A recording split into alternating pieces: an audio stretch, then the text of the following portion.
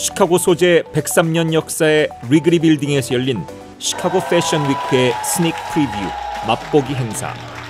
내일부터 열리는 시리즈 행사의 시작을 알리며 일부 패션쇼 의상을 깜짝 선보였습니다.